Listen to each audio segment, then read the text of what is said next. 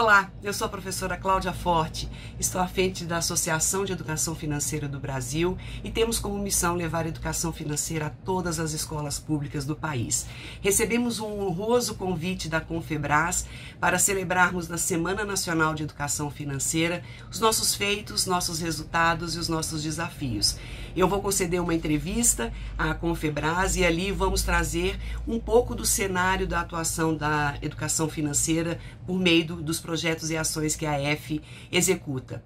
Eu conto com você na audiência da Semana Nacional, na leitura desta entrevista, mas, sobretudo, conto com você como um agente ativo, multiplicador, disseminador das questões da educação financeira na sua cooperativa, na sua casa, na sua escola e no seu entorno. É só desse jeito que nós vamos conseguir uma nação financeiramente educada. Eu conto com vocês na Semana Enef.